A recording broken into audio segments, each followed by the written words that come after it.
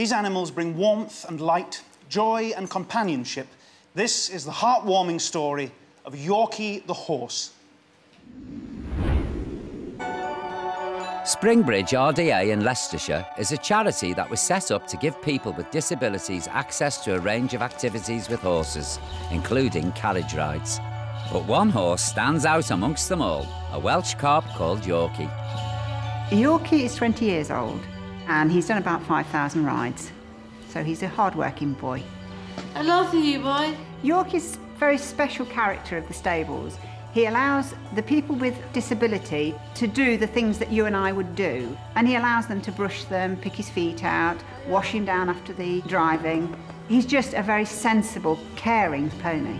Yorkie has a very real connection with all the visitors, but it was his friendship with Michael that nobody at Springbridge will ever forget. Yorkie is a very open, caring horse, which enabled Michael to um, be close to him in his stable, um, to, to be together and to converse as one.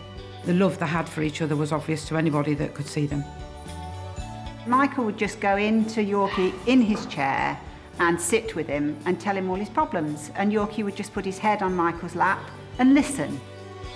Michael would arrive and we'd, we'd get him on the cart and off they'd go around the local village. Yorkie would pace himself so as not to jar or jerk or affect his passengers at all.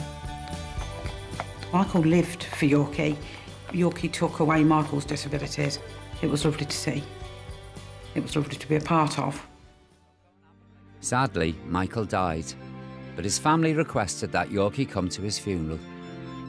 Yorkie led the procession in and and whinnied more or less all the way through. You could tell Yorkie was was there for Michael and looking for Michael. There wasn't a dry eye in the house yeah, it was a very special funeral. It was the family's wish that Michael was laid to rest with Yorkie or as near as he could be. Um, so we came and scattered Michael's ashes with Yorkie in the paddock. Um, I couldn't have wished for anything better, a final fitting resting place for Michael to remain with his best friend. Yorkie appears to know far more than you would expect an animal to know.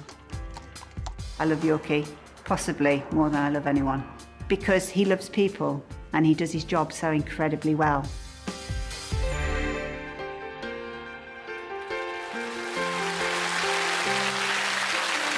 Yorkie is with us this evening.